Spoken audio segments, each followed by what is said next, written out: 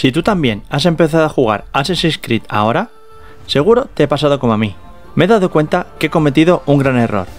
¿Quieres saber cuál es para que tú no lo cometas? Pues quédate y aprendamos juntos. Dentro intro.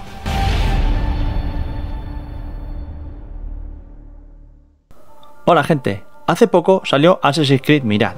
Llegó a mis manos y me he maravillado. Algunos pueden decir que es un truño de juego, o que quizás debía haber salido como DLC de Valhalla, pero a mí, que es la primera vez que juego a esta saga, me está gustando bastante. Antes de seguir, mandar saludos a estos últimos suscriptores que se unieron al club.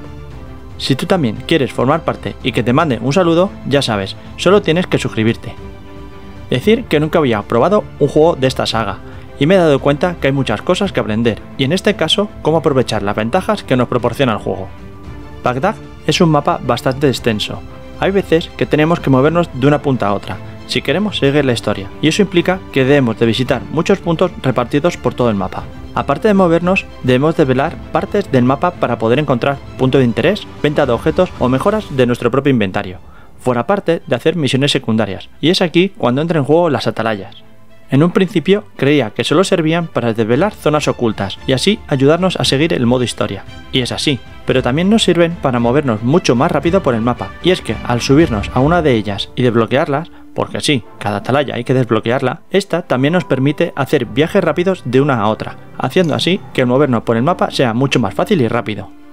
No sé realmente cuánto hay repartidas por todo el mapa, pero si pasas cerca de alguna, bien sea recorriendo el mapa o haciendo alguna misión, te recomiendo que intentes subir y desbloquearla, ya que posiblemente más adelante te haga falta para viajar a algún punto cercano de dicha atalaya.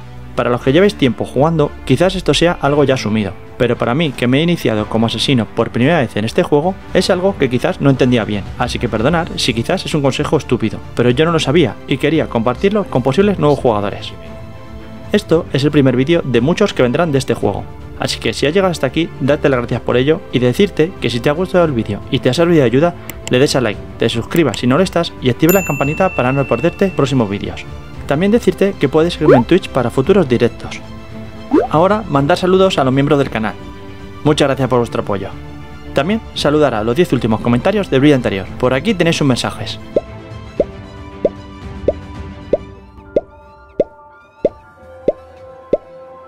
Un saludo, banda. Este es el primer vídeo de Assassin's Creed, pero mientras por aquí te dejo unos cuantos de Minecraft Dungeon. Por gente, eso es todo, sin nada más que añadir me despido. Un saludo y chao.